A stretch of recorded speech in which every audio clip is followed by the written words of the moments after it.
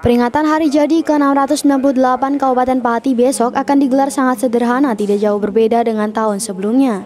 Hal ini lantaran masih adanya pandemi COVID-19 serta Kabupaten Pati tengah melaksanakan PPKM level 3. Sekretaris Daerah Kabupaten Pati Suharyono mengungkapkan, termasuk pada upacara peringatan hari jadi nanti menggunakan pakaian adat, namun jumlah peserta juga dibatasi mengingat di tengah pandemi.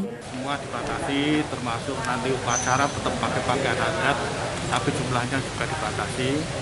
Kemudian dimulai dengan besok sore itu ada acara di Pendopo Kemiri. Selamatan itu pun dibatasi. OPD yang diundang hanya OPD OPD yang terkait dan petinggi sana camat Pati Forkombinda itu saja sama dengan tahun sebelumnya, usai tasyakuran, pihak desa akan membagikan makanan pada warga secara door to door. Hal ini dimaksudkan agar warga tidak perlu datang ke lokasi pendopo Sari Rejo karena dapat memicu kerumunan.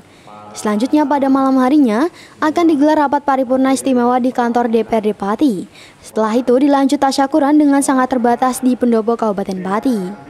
Kemudian untuk acara ketoprak yang biasanya di Kemiri itu dilaksanakan pada Sabtu siang itu pun hanya waktunya satu jam. Pihak yang menyebut, pagelaran ketoprak yang biasa digelar di Pendopo Sari Rejo dijadwalkan pada siang hari dengan prokes sangat ketat dan durasi hanya satu jam. Begitu pula dengan pagelaran wayang di SKB Disdikbud Pati pada malam harinya yang digelar secara virtual. Tim Liputan Cahaya TV